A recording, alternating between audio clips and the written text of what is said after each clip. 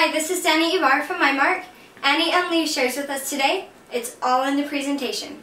In addition to the content of communication, take into account the format of the content. A delicacy served on a paper plate isn't worth as much as when it's presented on a china plate with garnish. It's all in the presentation. You may have extremely valuable content, but if it is just thrown together without much effort put into it, or the final presentation of the content, the social object you have created isn't worth as much as it would have been with an enticing format. This isn't to say that the content has become entirely worthless, but it will be recognized as something of great value without proper presentation. It is human nature to be attracted to aesthetically pleasing things. Simplicity plays an important role in aesthetics. The general public is not interested in something that is overcomplicated and time-consuming.